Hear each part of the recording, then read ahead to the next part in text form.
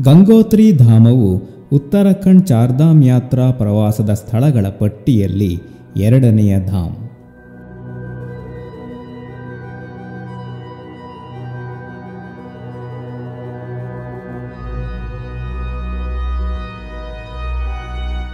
ಯಮುನೋತ್ರಿಯಿಂದ ಗಂಗೋತ್ರಿ ಸರಿಸುಮಾರು ಇನ್ನೂರ ಇಪ್ಪತ್ತೆಂಟು ಕಿಲೋಮೀಟರ್ ದೂರದಲ್ಲಿದೆ.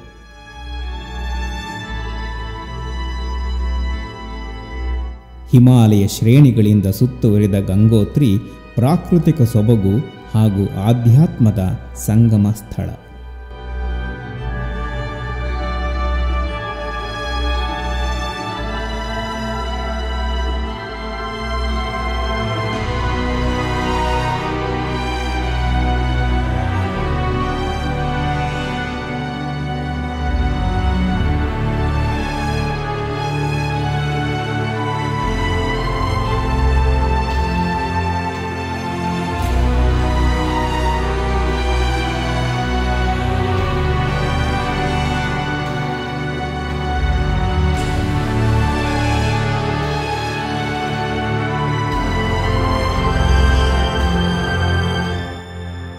ವಾಹನ ನಿಲ್ದಾಣದಿಂದ ಗಂಗೋತ್ರಿ ಮಂದಿರವನ್ನು ತಲುಪಲು ಸುಮಾರು ಒಂದು ಕಿಲೋಮೀಟರ್ ನಡೆಯಬೇಕು.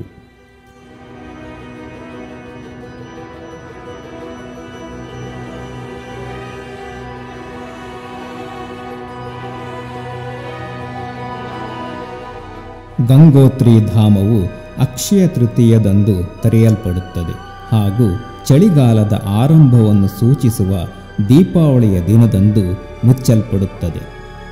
ಗಂಗಾಮಾತೆಯ ಪೂಜೆಯು ಆರು ತಿಂಗಳುಗಳ ಕಾಲ ಗಂಗೋತ್ರಿಯಲ್ಲಿ ನಡೆಯುತ್ತದೆ. ಶೀತಕಾಲದಲ್ಲಿ ಈ ಸ್ಥಳವು ಹಿಮಾವೃತವಾಗುವುದರಿಂದ ಗಂಗಾಮಾತೆಯ ಪೂಜೆ ಮುಖ್ಬಾ ಎಂಬ ಗ್ರಾಮದ ಮಾರ್ಕಂಡೇಯ ಆಶ್ರಮದಲ್ಲಿ ನಡೆಯುತ್ತದೆ.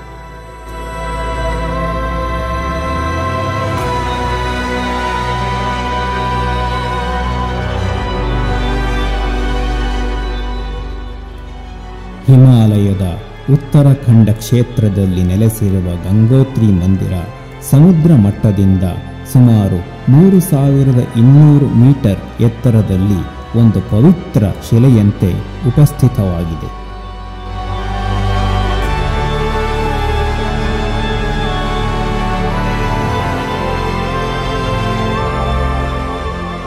ಈ ಮಂದಿರವನ್ನು ಭಾಗೀರಥಿ ನದಿಯ ದಕ್ಷಿಣ ದಂಡೆಯ ಮೇಲೆ ನಿರ್ಮಿಸಲಾಗಿದೆ.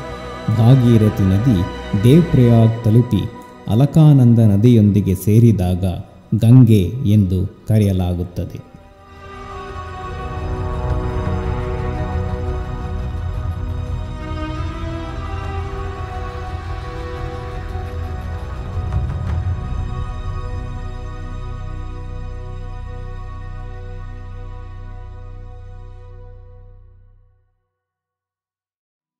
ಹದಿನೆಂಟನೇ ಶತಮಾನದಲ್ಲಿ ಈ ಮಂದಿರವನ್ನು ಗೂರ್ಖಾ ರೆಜಿಮೆಂಟ್ನ ಜನರಲ್ ಅಮರ್ ಸಿಂಗ್ ಥಾಪಾ ಅವರು ನಿರ್ಮಿಸಿದರು.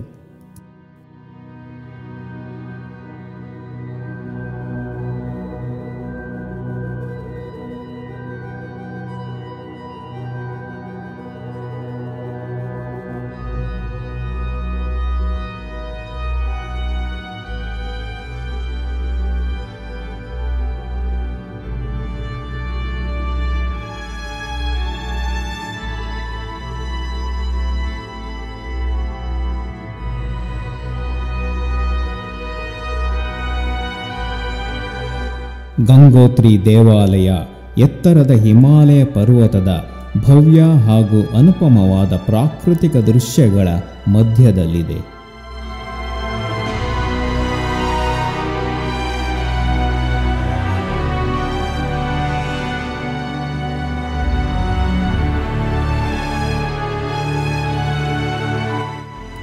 ಗಂಗಾ ಮಾತೆಯ ಮಂದಿರದಲ್ಲಿ ಗಂಗಾದೇವಿಯ ಮೂರ್ತಿಯ ಜೊತೆಗೆ ಭಗೀರಥ ಹಾಗೂ ಇತರ ಮೂರ್ತಿಗಳನ್ನು ಪ್ರತಿಷ್ಠಾಪಿಸಲಾಗಿದೆ.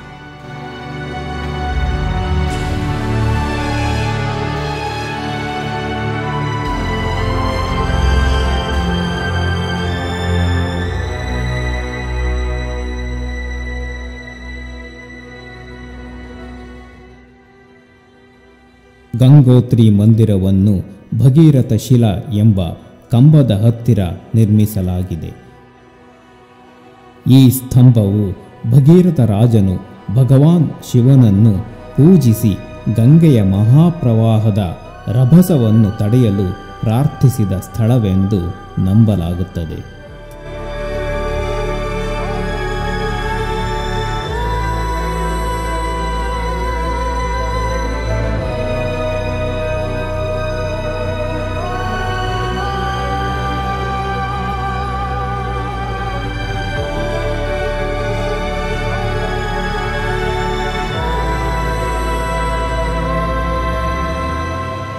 ಪುರಾಣ ಕಥೆಗಳ ಪ್ರಕಾರ ಭಗವಾನ್ ಶಂಕರನು ಗಂಗೆಯನ್ನು ತನ್ನ ಜಟೆಗಳ ಮೂಲಕ ಹರಿಯಲು ಬಿಟ್ಟು ಗಂಗೆಯ ಹರಿವನ್ನು ಸ್ಥಿರಗೊಳಿಸಿದ ಸ್ಥಳ ಇದು ಎಂದು ಹೇಳಲಾಗುತ್ತದೆ.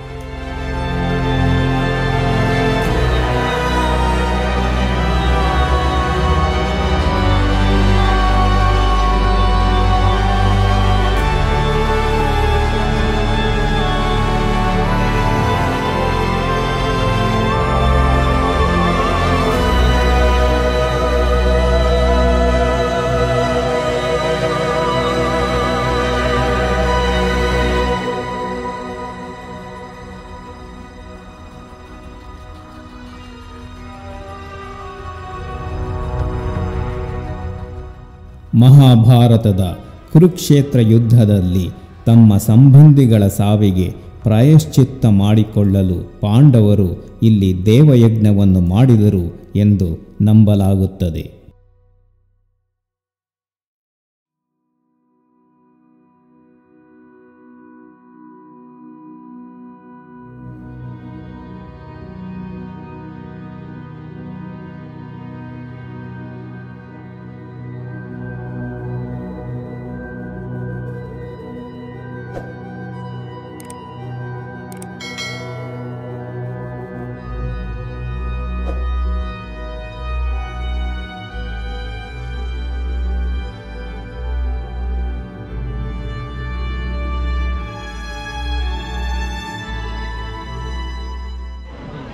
भगरथ राजा का टेंपल है। सतयुग में उन्होंने 5500 वर्ष यहाँ पे बैठ के तपस्या किया है। तब जाके गंगा मैया स्वर्ग लोक से पृथ्वी लोक पे उतरी और हमारे पूर्वजों के उद्धार के लिए उतरी।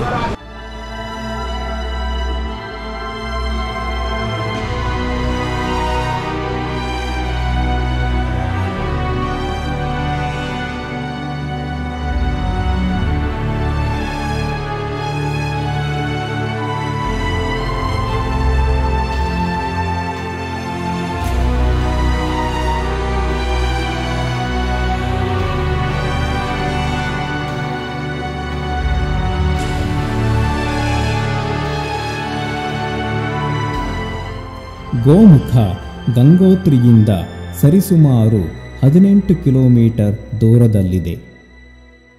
ಗೋಮುಖ ಗಂಗೆಯ ಉಗಮಸ್ಥಾನ.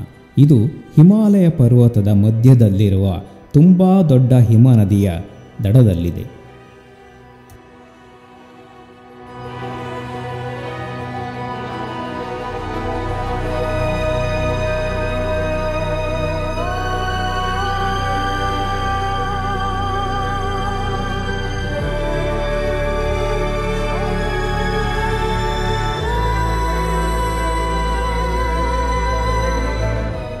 ಗಂಗಾ ಮಾತೆಯ ಅಮೃತ ಸ್ವರೂಪವಾದ ಜಲಪಾನ ಮಾಡುವುದರಿಂದ ಇಹಲೋಕದಲ್ಲಿ ಅಷ್ಟೈಶ್ವರ್ಯ, ಹಾಗೆಯೇ ಪರಲೋಕದಲ್ಲಿ ಮುಕ್ತಿ ಪ್ರಾಪ್ತಿಯಾಗುತ್ತದೆ ಎಂದು ನಂಬಿಕೆ ಇದೆ